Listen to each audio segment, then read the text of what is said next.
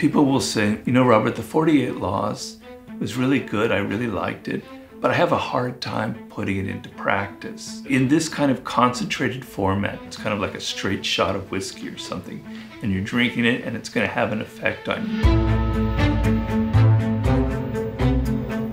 I've been writing books now for 26 years. I've learned an incredible amount, but I've kind of gleaned from all of this experience and all of this writing, I'd say two lessons I think that are critical. One is it's your attitude towards life, towards people, is going to determine your level of success, not necessarily your knowledge or the information that you have or your technical skill. And the attitude that I found that I've been able to craft that came through a lot of hardship and pain and mistakes is a supremely radical, realistic outlook on life. Seeing people for who they are, not through your own cloud of emotions.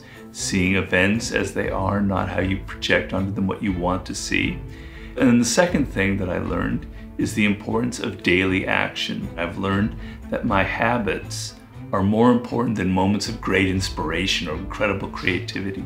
Even when I'm depressed or I'm bored or I'm totally uninspired, I still do the work. These two lessons that I've learned are very much part of the Daily Laws.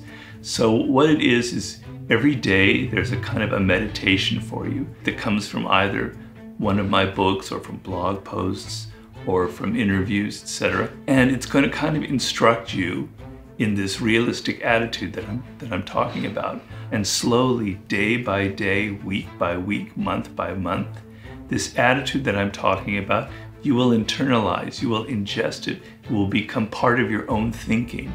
This book is going to ground you in that realistic attitude towards your work and your career, towards the people you're dealing with, and towards yourself.